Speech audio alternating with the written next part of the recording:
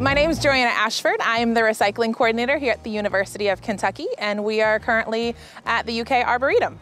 Here at UK, we have a great infrastructure set up for your recycling and your waste management or landfill material.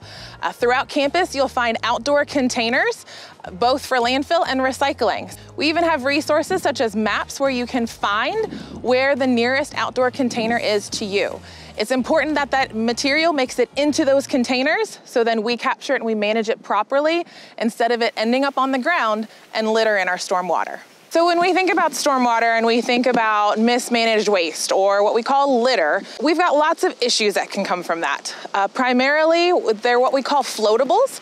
So that litter, whenever it rains, that rainwater will pick up that litter and carry it to our local streams, rivers, creeks, and lakes. And so it doesn't just stay where you're at, and then it becomes a pollutant there. It becomes pollution that is degrading to the habitat there, it's degrading to our water quality, and of course, it's an aesthetic issue as well.